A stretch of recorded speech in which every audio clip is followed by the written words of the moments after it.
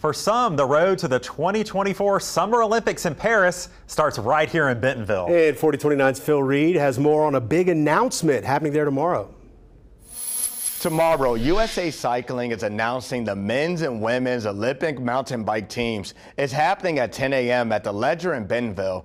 The city partnered with USA Cycling in 2022 to name Bentonville the home of the U.S. mountain bike national team. Officials say USA Cycling has spent the last two years hosting national team camps and training on the Northwest Arkansas Trail Network. This is a big biking community. This year, Bentonville has held events like Expedition Ozarks and Bike Fest. Those bring in thousands of people from across the world to Northwest Arkansas. Tomorrow's event is happening at the Ledger, which officials say is the world's first bikeable building. USA Cycling CEO Brendan Quirk is hosting the event. It will feature a video compilation of each team member.